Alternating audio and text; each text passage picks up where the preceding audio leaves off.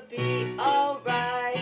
Oh, I wish I'd go in labor, then I wouldn't be so puffy. I wish go in labor and have sex with my lovey.